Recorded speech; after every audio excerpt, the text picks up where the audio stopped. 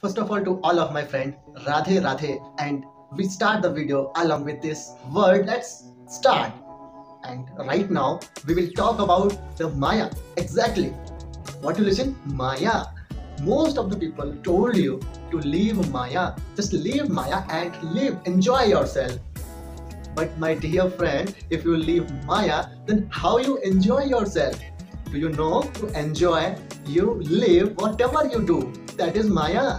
You are living in the world. In the world, in all the universe, the Maya is the only thing, only the sustainability, which is always remain. When you were not on the earth, Maya was. And after some time, when you leave the earth, Maya will also remain.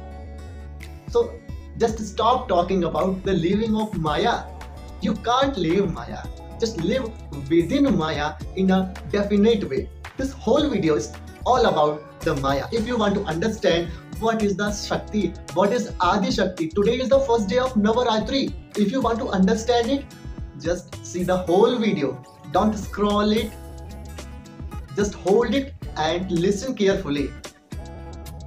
The feminine power is more powerful than you examine. And if you think you will remain single or you will remain away from Maya, that is your perception and that is your misconception. I don't know from where you learn it because all of your money, all of your education, all of the assets, whatever you have, the clothes I have, the thing, the mobile phone through which I am making this video, the mobile phone through that you are watching this video, these all are Maya. If you leave that, how can you survive, my dear? If you leave to eat food, food is also Maya, my dear. All is Maya. Maya, that means the greatest positive thing exists on earth. That is Maya. But what is our perception towards Maya?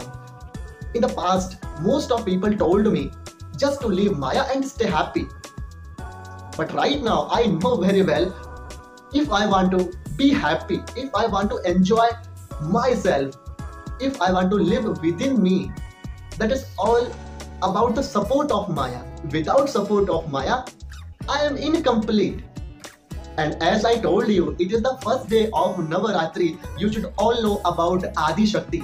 Adi Shakti is not only about the worship. It is not only the thing that you have to worship. Worship doesn't mean that you respect them.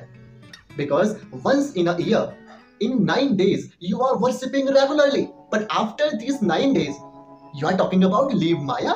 Because Maya is also Adi Shakti. And Maya is the greatest ever. Adi Shakti exists on the earth. So, to experience the greatest value, to experience the divine feminine power, you have to live within Maya. You didn't separate it with yourself. You have to live within that. Just search your happiness. It is a circle, my dear. It is a circle. In the corner of this, the happiness presents. So you have to search that happiness. Just don't want to leave this circle. Don't want to leave this gola. You have to understand. I am not your teacher, but I can suggest you what you can do in your life because whatever I earn from this and what you can do with the help of that feminine, most powerful thing exists. Whenever I am thinking about Adi Shakti, one thing came in my mind that is the peace, the thing in which I can tell all the things, all my inner happiness, inner sadness, whatever my emotions are. I can put that to my Adi Shakti. I speak thoroughly inside myself to that Shakti, that Mahashakti, that Maya. She helped me out in whatever way. There are the different, different ways so they can help you out. But first of all, you have to realize what is the feminine power? If you know the feminine power, then she will definitely help you out to keep you positive in your life. So, now, happy Navaratri to all of you. And right now, it's my first video that is in English. So, if you understand this language, if you like this, just like and comment. Tell me in which language you want the videos. If you want videos in the Hindi, total Hindi, then I will also make that.